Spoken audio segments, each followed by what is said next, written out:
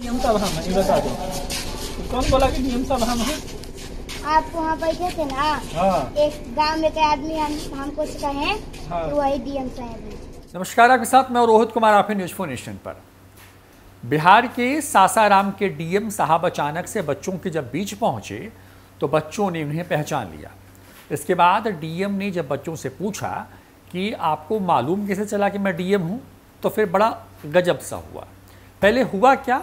ये वीडियो देखिए नियम साहब हम ये बता दो। तो कौन बोला कि नियम साहब हम आप वहाँ बैठे थे ना हाँ। एक गाँव में के आदमी हम हमको कहे हाँ। तो वही डीएम साहब है। अच्छा डीएम साहब का नाम है?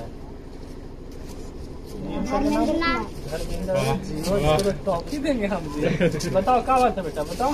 सर हम लोग के स्कूल में तीन सौ इक्यासी बच्चा है। और दो मास्टर दो मास्टर दोनों मास्टर नीचे से आते हैं। अरे यहाँ कोई नहीं रहते हैं। बच्चा कितना है? तीन सौ और ये मास्टर बतलाते हैं ना कुछ भी। हाँ। कुछ भी बतलाते हैं ना तो जो आगे वाला रहता है ना हाँ। उसी को खाली सुनाता दस बीस लोग को सुनाता है। और पीछे वाले को बाकी को सुनाइबे नहीं करते एगो मास्टर कितना वो उतना लड़का में तीन सौ इक्यासी को है।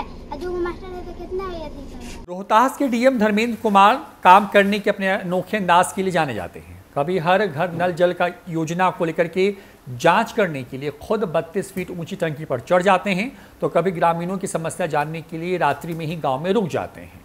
डीएम धर्मेंद्र कुमार अचानक से ज़िले के सुदूरवर्ती गाँव रोहतासगढ़ पंचायत के एक सरकारी स्कूल में पहुँचे, जहाँ डीएम ने स्कूल के बच्चों से बात की। बच्चों ने भी डीएम से दिल खोलकर बात की और अपनी समस्याएँ बताईं। बच्चों से मिलने के बाद डीएम ने कहा कि वहाँ के शिक्षकों की समस्याएँ सामने रखी गई हैं बच्चों ने बताया है कि स्कूल में 400 के करीब बच्चे हैं, लेकिन शिक्षकों की संख्या जो है, वो सिर्फ़ दो है। इस मामले को लेकर के जिला शिक्षा पदाधिकारी को इस समस्या को दूर करने का निर्देश दिया गया है। डीएम धर्मेंद्र कुमार ने कहा है कि बच्चों से बात करने से सच्चाई का पता चलता है। ऐसे हम लोग तक यही सही सूचना नहीं पहुँच पाती है। बच्चों से बात कर सही बात का पता चलता है। तो डीएम धर्मेंद्र कुमार जो हैं, हमेशा सुर्खियों में रहते हैं। पिछले एक डेढ़ महीने में देखें तो कई ऐसी घटनाएँ हुई हैं जिसमें वो चर्चा में आ गए हैं। कभी अचानक से नल जल योजना की पानी टंकी पर वो चढ़ करके पानी की गुणवत्ता देखते हुए नज़र आते हैं तो दूसरी तरफ़ जो है, कई बार डीएम साहब जो हैं, वो गाँव में रात में रुक करके गाँव के लोगों की समस्याओं को सुनते हुए भी नज़र आते हैं। ये पहली बार था जब जो है, सासाराम के डीएम धर्मेंद्र कुमार अचानक से सुदूरवर्ती इलाका है, सासाराम ज़िले का। वहाँ पहुँचे, वहाँ के सरकारी स्कूल में, जहाँ पर करीब 400 बच्चों की मौजूदगी में उन्होंने बच्चों से उनकी समस्याओं को सुना और उसके बाद तत्काल आदेश दिया कि इन समस्याओं को तुरंत दूर किया जाए। क्या कुछ धर्मेंद्र कुमार के सामने, जो कि डीएम है, सासाराम के, उनके सामने हुआ? और बच्चों ने किस तरीके से अपनी समस्याओं से उनको अवगत कराया? छोड़े जाते हैं आपको उस पूरे वीडियो के साथ। वो जो था रोहतास ब्लॉक के, रोहतासगढ़ जो है ग्राम पंचायत वहाँ पे था। रोहतासगढ़ ग्राम पंचायत ज़िले का सबसे जो है सुदूर एरिया है और वहाँ पे जो है शिक्षकों की समस्या हम लोग के संज्ञान में रखी गई है। वहाँ के स्थानीय विद्यालय के बच्चों के साथ जब मेरा संवाद हुआ तो उन लोगों ने रखा कि वहाँ पे लगभग 400 के आसपास बच्चे हैं और दो ही शिक्षक है। और वहाँ की भौगोलिक स्थिति इस टाइप की है कि जो शिक्षक हैं वो भी नीचे से, यानी कि जो हिली एरिया है, वहाँ पे नहीं रहते हैं और जो समतल एरिया है, वहाँ से ऊपर जाते हैं। तो मतलब बाकी समस्याएँ भी उनके साथ जो है रखी गई है।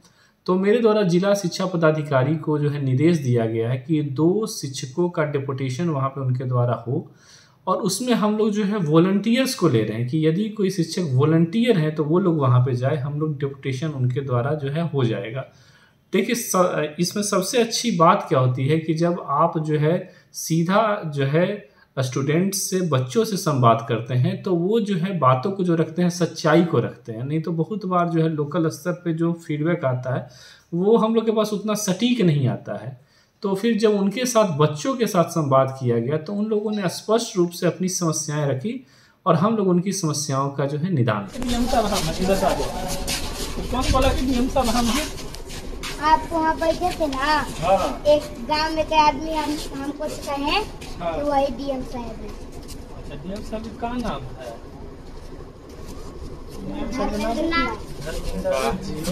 टॉफी देंगे हम बताओ क्या बात है बेटा बताओ।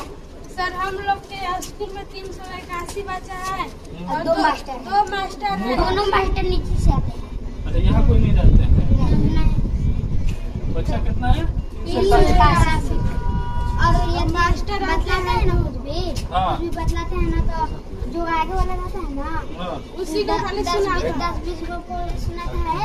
और पीछे वाले को बाकी को सुनाते नहीं करता। ए- मास्टर कितना उतना लागा में तीन सौ इक्यासी को है। और जो मास्टर है तो कितना है ये तीन सौ वो एक से एक क्लास तक ये करिएगा।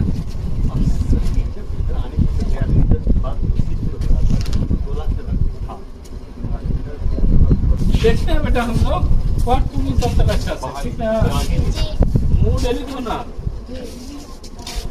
अच्छा इतना चोट लग गया तुमको? खेलता जाते ना तुम? नहीं। कैसा लग गया था चोट छलक गए छलक कहाँ गया था? उधर गाय लेने थे। हाँ।